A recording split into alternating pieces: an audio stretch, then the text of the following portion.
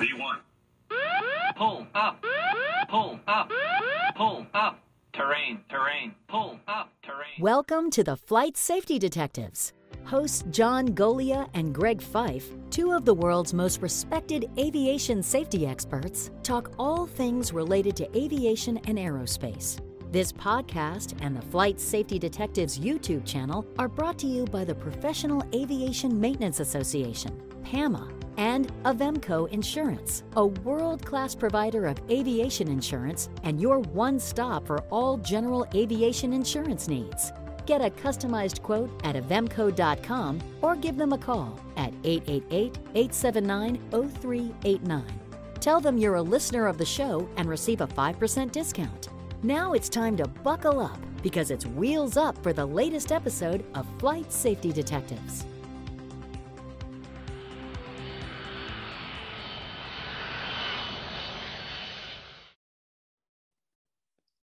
Hello, John. Hi, Todd.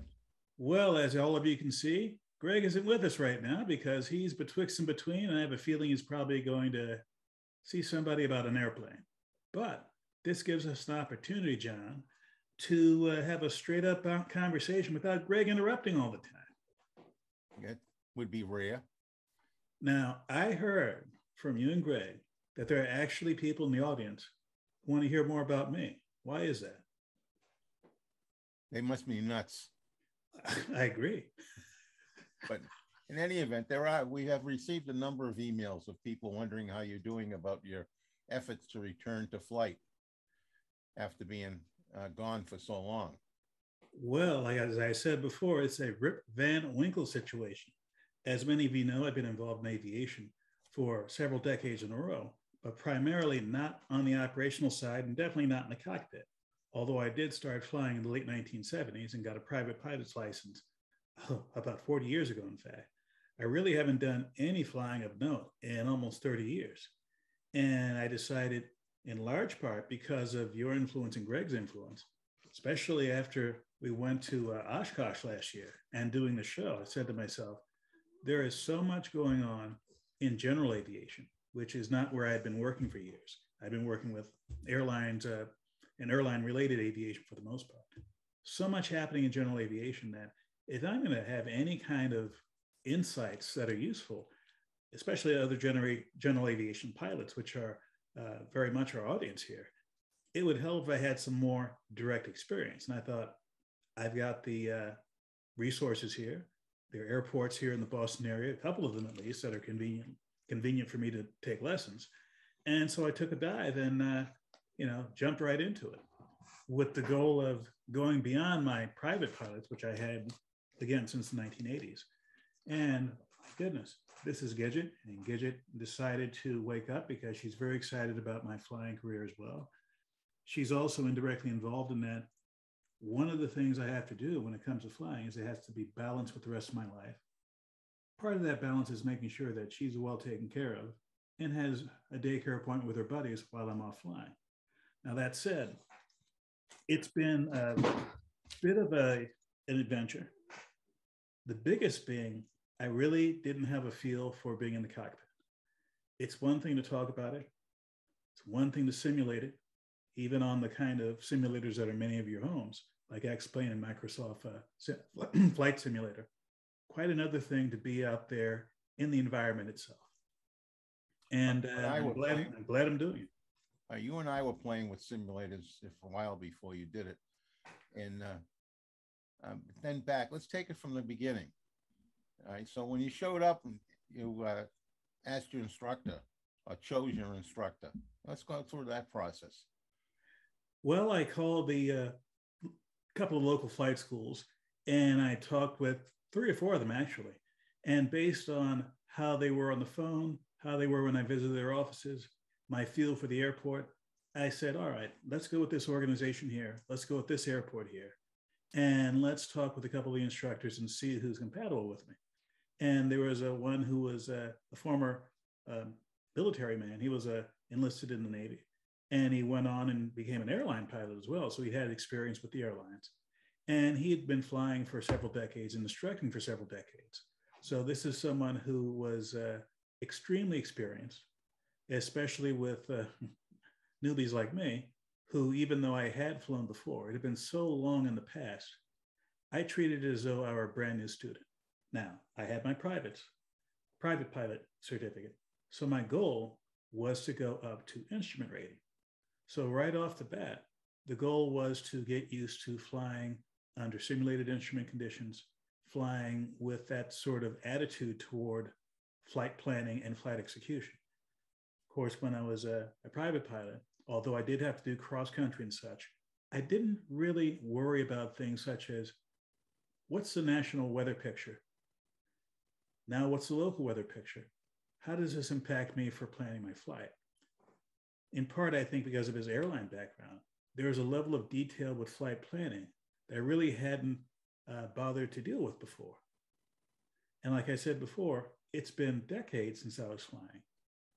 Probably the biggest change for me is the level and detail of information that is available at the fingertips of every pilot. The kind of information where you had to call flight service station, had to look up obscure uh, pieces of data that could be months or years out of date, even if you're looking at regulations or looking up manuals from the FAA. All this stuff is out there. All this stuff is available. You can do things like sign up for various services, text the uh, airport code for a particular airport, and get the uh, METARs for it right there in your phone.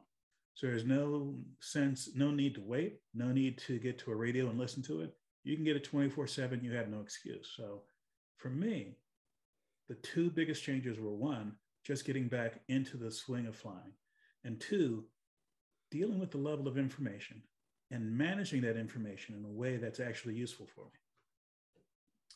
You know, sometimes we think that there might even be too much information uh, for a new pilot, sort of overwhelms them. Oh, in my opinion, there's way too much information. Like the internet itself, it's a wealth of information that no one human being can absorb all at once, even if you're limiting it to aviation related information. You really, in my case, I had to look at what are my goals? I had very specific goals. That is, I wanted to get an instrument rating. So I wasn't trying to do everything, I was trying to do one particular thing. And so around that major goal, that focused my attention as to what I should learn, what I should memorize, what I should get experience in, what kind of training I should get and when. For example, I wanted to do instrument, but I also wanted to understand the modern cockpit, the glass cockpits, the kind of thing that in the 1990s when I was at Boeing was the kind of thing that was only in airliners. But in the year 2022, it's increasingly at the lowest level of general aviation. So I didn't want to just do glass cockpit. I wanted to relearn on steam gauges and trans- transition into training on both steam gauges and glass cockpits because some of the decision making some of the feel of flying etc is different when you're dealing with one kind of cockpit versus another and i wanted to get personal experience with that as i worked toward my certificate all right so learning to fly here in the boston area which is loaded with controlled airspace that has to be an interesting process to get back into the groove with uh, listening and using the radios and concentrating on uh, all the flying. Oh my goodness! And uh, you know, my my early flying uh, was primarily in South Texas and Southern California, well away from Class B airspace or any busy airspace. I had the luxury of being able to uh, fly in rel- relatively uncrowded skies. Here in Boston, of course, you have to be cognizant of that from from the from day one. Uh, the airport where I fly out of Norwood, uh, the the lower level of the uh, Class B airspace that's over us is less than 3,000 feet. So if you're casually flying and sort of like forget what altitude you're at, if you're over in the middle of nowhere in Texas and you're a couple hundred feet off, that's one thing. There's no Class B airspace. There might not be any traffic around you. But do that here, and suddenly there could be all sorts of uh, interesting things happening. And just being mindful of that and being careful with respect to how am I planning my entry into this area? How am I planning my exit out of this area? Keeping aware of the three dimensional situation that I'm in, not just where I am relative to my origin and destination, but where I am relative to uh, flight restricted airspace, etc. Speaking of which, in the modern era, you have temporary flight restrictions for all sorts of things. For example, we just had the Boston Marathon here a few days ago. and there was a big restricted piece of airspace right over where the air, air where the uh, marathon started. That was very near one of the routes I flew just the other day. Now, I did a little look ahead and I knew that was going to happen two days after I was going to fly. So I wasn't worried about it. But that gets back to what I said earlier and what you said earlier. There's plenty of information. You have to pick and choose what kind of information is important to you. Yeah, so you're one of those airplanes who are flying over my house.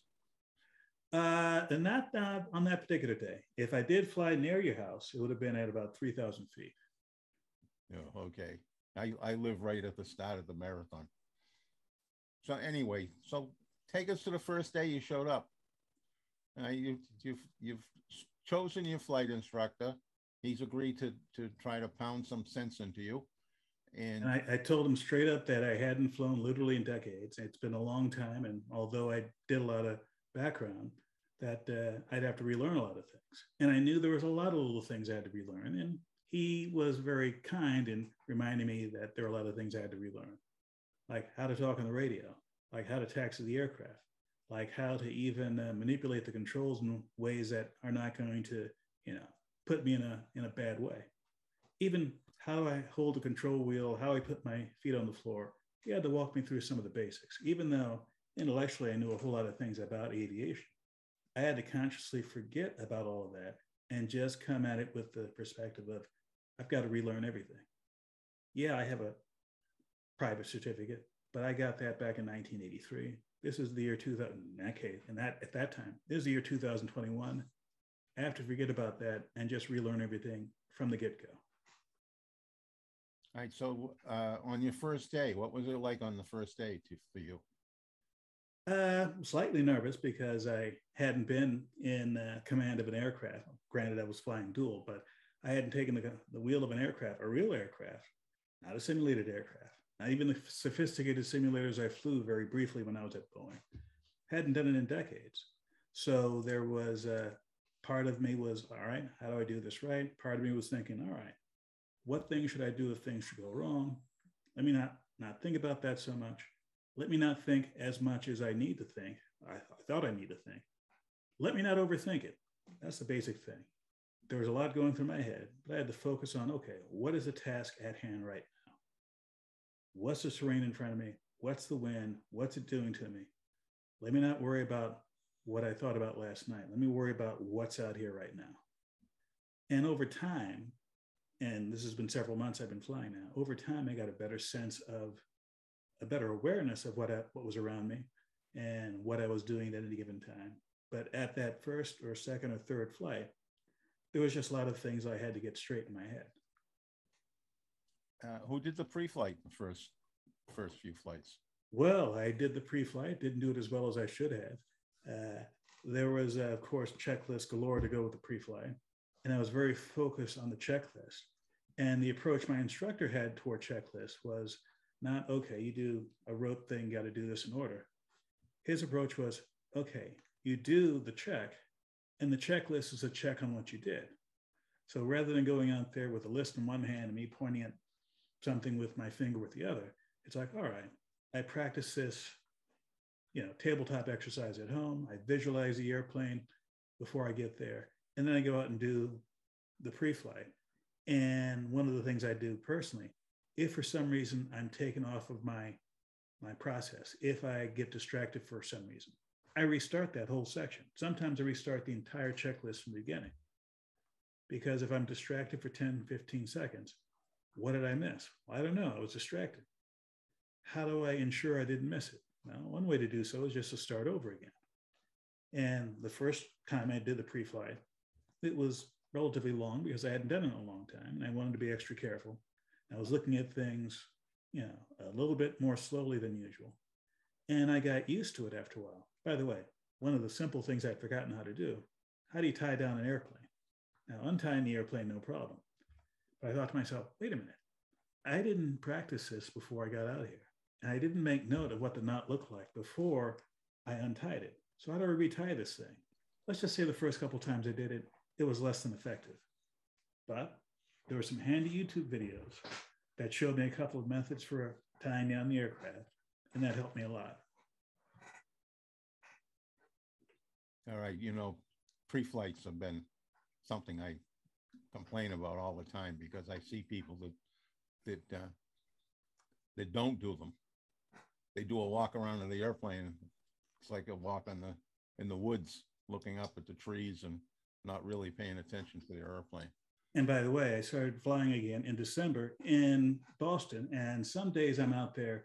It's rather chilly, like well below freezing chilly, and that can be uh, something to persuade you not to do a thorough pre-flight. But that's something that should be dealt with and managed ahead of time. Just because it's cold, or when I was growing up, flying in Texas, just because it's boiling hot doesn't mean you don't do what you have to do. If it means you wear gloves, you wear gloves. If it means you wear extra layers, you wear extra layers. There's nothing that can replace the Mark One eyeball and the feel of your hand when it comes to touching the aircraft and seeing if there's something out of place or something doesn't feel right. All right, so uh, uh, checking the fuel. You know, there's uh, there's there's every year there's hundreds of airplanes that crash for running out of fuel. So, what can you tell us about how you handled when you went out to the airplane for uh, how much fuel the airplane had? Well, one thing that was similar to when I first started flying when I was a teenager, and now is that I was flying Cessnas, uh, Cessna 152s and 172s back then, and Cessna 172s now. And as many of you know, it's a high wing airplane. You have to climb up on it in order to look at the fuel. When I'm 19 and 20, climbing up on the aircraft, not a big deal. I'm a lot older than 19 or 20. There are a few things that are creaky that didn't used to be creaky and I'm much more, let's just let's say, hesitant about the, the hazards of falling than I was back then. So I had to be very, very mindful just in the process of climbing up there to look at it. Once I was there, I had to make sure that I physically looked in, made sure everything looked right, and I closed the cap the way it should, double checking both caps for each wing, making sure that they were closed and they were aligned correctly. So the process of checking fuel, several things that I had to just remember how to do and several more things I had to be careful of. I didn't have to be careful of before. And going through that process, I thought to myself, I have a feeling a lot of pilots out there who, for whatever reason, think that, you know what, I've been flying this airplane for a long time. I just filled this up at the last stop. The fuel gauges say the tanks are pretty full. I'm not going to check it this time. Well, first off, in my opinion, the least reliable instrument on the entire aircraft is a fuel gauge you have to check it every time, period. Yeah, it's amazing how many airplanes run out of gas and and how many pilots try to stretch the the uh, gas load to get to someplace where they can get gas that's five cents a gallon cheaper. And there's been a lot of crashes. I have a very good friend of mine who lost his life because of that, chase on cheap fuel, and uh, didn't pay attention. And but speaking of fuel, even the process of checking the fuel for uh, debris and other impurities. Uh, in the old days, 40 years ago when I was first flying, there were only so many ports to uh, take fuel from. Now, let me get the number right. I think there are 14 different places I have to get fuel from. Three under the engine, five on each uh, wing, which is more than it was in the old days. And in order to do it in the way that's the most effective for uh, finding stuff, I have to do them in a certain sequence It took me a while, two or three times before I remember what the sequence was. I didn't have to write it down and look at it every time. But now that I've done it a few times, it's like, okay, I got to check the fuel, got to check it in this way, got to do it every time. All right, well, let's get into the airplane. So now you're climbing into the airplane for the first time. What was that like? Well, I knew uh, my memories of the old days was that uh, it was a pretty cramped space, not a lot of room inside of an airplane. And uh, luckily for me, although in uh, when I first started flying, I was a rather pretty skinny guy. There were some years where I wasn't so skinny. I had just come off of losing about 20 pounds before I started flying again. I thought to myself when I got into the airplane, I'm glad I lost that 20 pounds. Would have been more challenging and a little bit tighter squeeze in here had I not done. And which brings up another issue. You know, I've got a few gray hairs now. I didn't back then. And I want to make sure that there's no health issue going on that might keep me from flying. So when I got my medical um, updated, I had a very nice conversation with the physician, told him, hey, here are all the things I've been going through over the years. They're not an issue now, but they may have been an issue a few years ago. How is it going to affect me as a pilot? So here's a situation where, sure, you can go out there, pay the however many dollars, get an aerospace medical examiner to sign off on you just to have your ticket signed. But I took this as an opportunity to have a longer conversation where I brought up the issues of look, I'm an older pilot. I haven't done this in a long time. There are things I've gotten used to medically that may or may not be an issue now. Let me get your opinion. Is this an issue now or is it not an issue now? None of it was an issue, but I'm glad I had the conversation. Yes. Yeah. Getting old is not for the faint of heart. Well, given the alternative, I'll deal with it. okay, you're in the airport or in the airplane. Let's take it from there. Well, of course, uh, not of course. There are basically things I forgot. For example, uh, way back when, when I was flying, uh, this was before uh, headphones and ear protection were a big thing. And I thought, oh, I got to bring my, my headphones with me. Well, of course, I walk out the air, airport, at the airplane rather, I forgot my headphones. So it was one of those things. It's like, there's so many little things that I've forgotten. Luckily, I remembered and went back to the office and got it before I flew. But that was a, uh, another thing I had to get used to. How much do I pack inside of this airplane? Now, you can put all sorts of things into your flight bag. Question is, what do you need to have in your flight bag for this particular flight? And that's going to vary with, with every individual. But it took me a, a, while to sort of streamline what works for me. What kind of knee board works for me? I went through a couple of knee boards for several of them that I like. What kind of uh, briefing card setup do I want to have? How do I want to arrange things in the binder? Do I even want to use this knee board for certain kinds of flight maneuvers or certain um, lessons that we're doing that particular day? And uh, on top of that, do I want to have the stuff in the back seat? Do I want to put it in the storage area in the back? Little things like that, because one of the many things rattling through my mind is I want to have as few distractions as possible. I don't want to have a water bottle that I don't need rolling out of my bag, rolling under the seat and you know getting in the way of the pedals. I don't want to have extra pens and pencils falling out, going every which way where when I don't need them. So I really I didn't put a lot of thought into it.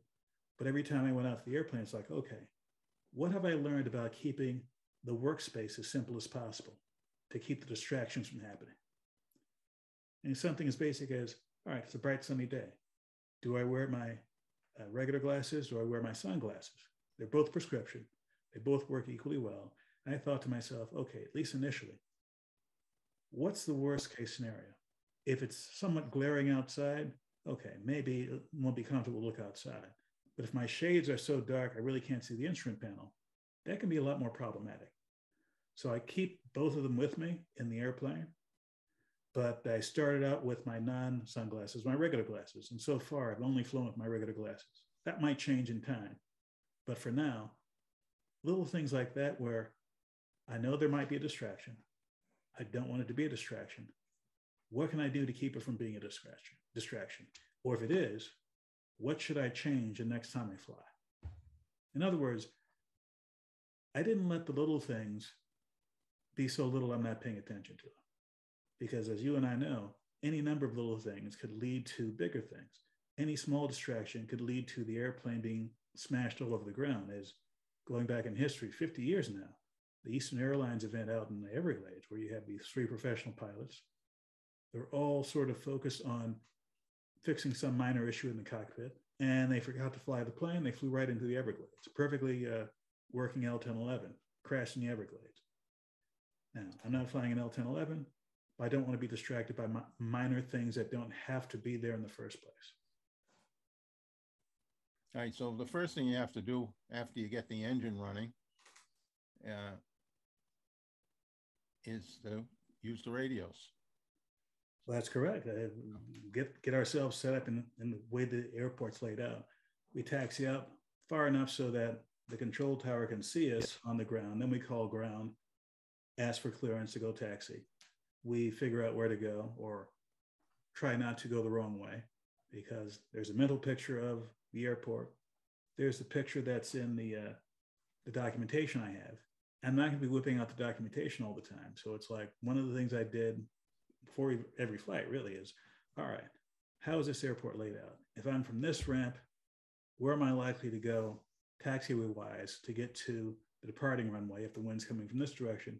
How are we likely to go if the wind's coming from another direction? And one of the uh, interesting things about the airport where I fly out of, there's quite a bit of helicopter activity going on. So one of the taxiways, very close to one of the uh, pads where the helicopters are.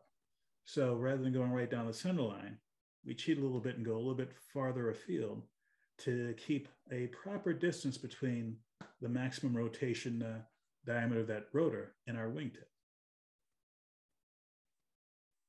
And it's something that's not normally uh, thought about uh, when you're flying general aviation airplanes. I never had to do that at the airport I was learned to fly on. In fact, it was a very sleepy little airport, and the activity was very very low. So, all right. It's a mix. It's a mix of traffic at this particular airport. By the way, we have helicopters, uh, both news helicopters from the local news stations, a bunch of uh, Robinsons that are in some sort of a training uh, situation. There's actually a, a, a company out there that's doing a training of people wanting to be professional pilots. So they have quite a bit of activity going on. There's the flight school I'm in that has a handful of airplanes, a lot of private aircraft there as well, the occasional business aircraft rolling in.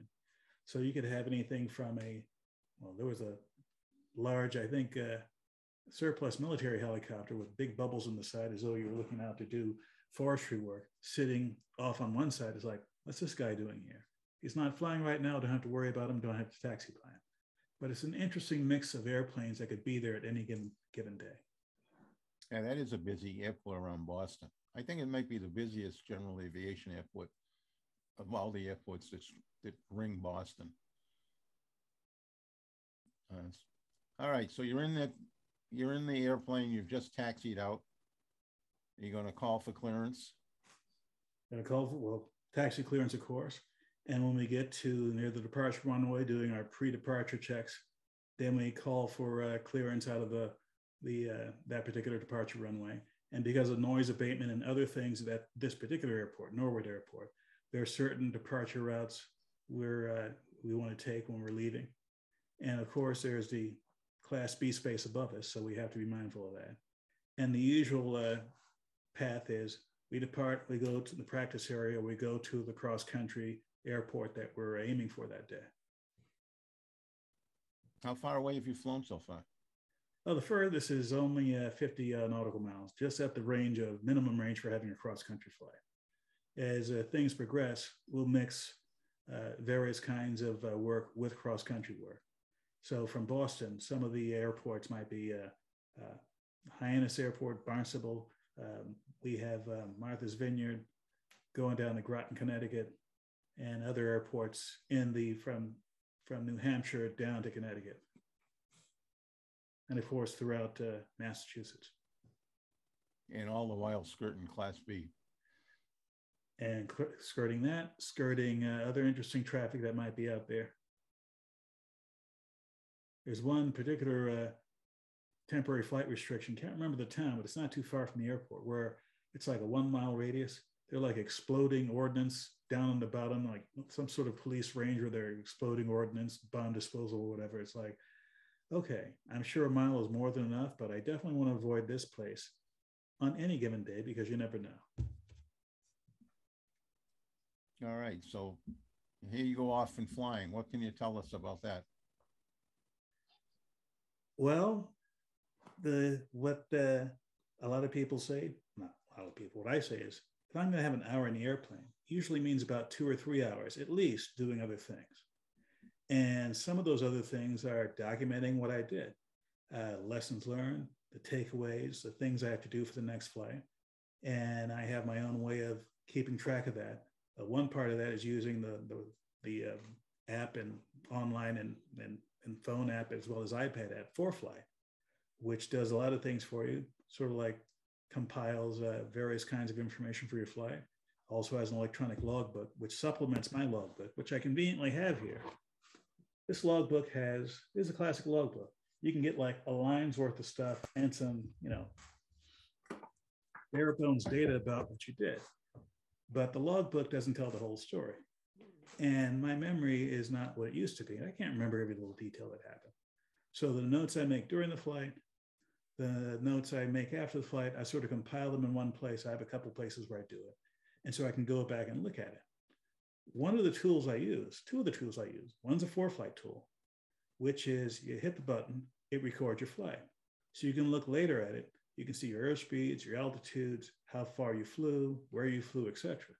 You can also go to something like Flight Radar 24 or FlightAware and look up the aircraft you're flying all of our aircraft are ADSB out uh, equipped.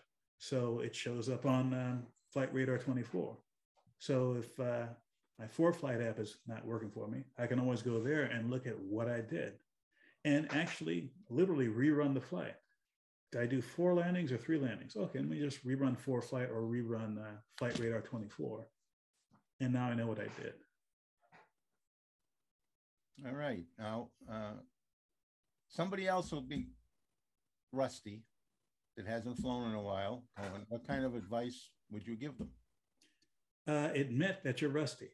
Admit that you don't know what you used to know. And also realize that whatever situation you'd flown in the past, especially in my case, if you'd flown, flown years in the past, so many things have changed that you shouldn't go out of your way to learn everything ahead of time, but just just be mindful that there could be some small things that change that could actually be for the better for you. Uh, and like I said before, ForeFlight, because of their electronic logbook, I can go in there and basically treat this like a diary rather than just a compiling of you know hours and places I've flown. If there's something there I think I should refer to later on, either mistakes I made or mistakes I corrected, I write it in there so that weeks or months later I can go back and be like, oh yeah, this thing I had a problem with now, I had a different version of that problem back then. I'll use what I wrote one, two, three, four, five months ago to improve on this next lesson or to make that a learning point that I'll go over with my instructor before we fly next time. All right. Well, I think we covered uh, a fair amount of territory. Maybe some of our uh, listeners will appreciate walking in your shoes, so to speak. Well, the one one thing I, I forgot to mention, I said my goal was to be instrument rated along the way, I realized a couple things. The way the rules work, I can get a certification to be a ground instructor for instrument and a uh, advanced ground instructor who could legally give ground instruction for any number of types of uh, uh, non-commercial flying. And uh, this, unlike being a certified flight instructor or instrument flight instructor, it's something that uh, does not uh, require you to fly at all. I'm still going to be flying, but I thought, well, gee, one of the things I'm doing, and I'm doing with you, is outreach to other people in aviation, especially the younger people coming up. And although I haven't gone out of my way to formally instruct anyone in aviation, how much more useful could it be if I have a certification from the FAA that says I can provide ground instruction for you in this aspect of aviation? So it's not just me telling stories and me telling you should do this. And it's like, no, we can sit down, I can give you instruction, and I can sign you off on taking various tests. Very good. Well, we've uh, used up our time for this today. So I'm, we'll have uh, continue this story, the continuing saga of, of Todd's returning to flight. Look out below. Yeah. hey, I often say I made aviation safer when I stopped flying and I'm, in a way, I'm jealous. I wouldn't get back and, and uh, fly anymore, even though when I'm off uh, and have the opportunity to fly with somebody else, I, I uh, do. But I know that uh, at my age, my reflexes are nowhere near what they used to. Now, if I was, if I continued to fly, I'd probably be okay. But coming from someone who hasn't flown for many, many, many years, uh, I think it would be too much of a challenge to to get back into the game. And I hope that for the sake of our audience, that when we talk about things and I give insights and whatnot, the fact that I'm actually trying to do it in real time in a real way means that whatever insights I'm giving you, whatever advice I'm giving you, isn't just based on you know theoretical things or things I did years ago. It's like, okay, these are things that are still real. And not only have I experienced them, I, you know, had an emotional reaction to them. So when I tell you and shake my finger at you, it's not because I'm being some, you know, person who likes shaking my finger. It's like, look, this is an important point. here's why it's important. And here are a couple of insights personally I had that made me realize how important it is for me to share this with you. Yes. You know, I think that, that everything that we do and everything we try to do on the show is a learning experience. Right? We try to just convey the mistakes that we've all of us have made, and some of the people have made some pretty gross mistakes, and uh, share all the details of them so that uh, they don't have to be repeated. And that's what Okay. accident investigations are supposed to be, and that's what all the learning programs are designed to do. So we'll do our, our piece to try to uh, to do that. And I offer this promise to the audience unless it's something that'll get me thrown in jail, I'll tell you about my mistakes in the air, that is. yeah. You know, and I, I would like to remind everybody that uh, one of the most important things you can do for yourself when you're out there learning to fly is make sure you have renter's insurance to protect yourself in this this uh, society we have today, where everybody sues uh, at the drop of a hat. So if you if you want to protect yourself and your assets, uh, renter's insurance is very very inexpensive. I mean, it's far, far less than than even the most basic automobile insurance. So I wouldn't fly without it, and I don't think anybody should. Just to just to protect yourself. So with that, Todd, I think that uh, we'll cut this off, and uh, uh, Greg will be back eventually. Uh, maybe maybe as early as this weekend. So we will uh, we will pick up on some of our accidents. But in the meantime, I wish everybody would heed what we just said or what Todd just said. Good pre-flight. Make sure that you've got yourself well settled in the in the cockpit. You know, we have not talked on the show much at all about what you bring into the cockpit, you know, all the equipment, all the things that could cause distractions. So that was a good point that you raised about even pens, because I've seen those pens drive people crazy because you've dropped them. And where did they go? You know, so when you go flying, you got to do a good pre-planning session. You got to do a very thorough pre-flight. And when you get in the airplane, you got to put that head of yours on a swivel and keep the eyes open and moving all the time. Because especially around here, there's a lot of airport traffic. You know, sometimes when I'm I'm out in uh, in my truck waiting to go, I look. There's always airplanes flying over my house out here because I'm in between a number of airports, so they sort of like the space. And the and the you know the traffic going into Boston is pretty high. I'm 30 miles out out of Boston, so the traffic is uh, got some altitude to it. So they, I watch them do some maneuvers uh, right in the area where I live. So with that, my friend, uh, you can have the last word this time. Well, uh, let uh, my experience being listened to all of you, there's always stuff to learn. And don't be afraid to learn. You don't have to fly in an airplane to learn. Just realize that aviation is bigger than all of us, and we're never going to know, know all of it. So go out there and keep learning. Very good. To listen or watch more episodes of this show, go to FlightSafetyDetectives.com, the Flight Safety Detectives YouTube channel, or your favorite place to listen to podcasts. To contact John and Greg about the show, send them an email at flightsafetydetectives at gmail.com. And remember, for aviation insurance needs, contact Avemco Insurance at avemco.com or give them a call at 888 879 0389. Mention Flight Safety Detectives and receive a 5% discount. Thanks for listening to the Flight Safety Detectives, and remember to always fly safe.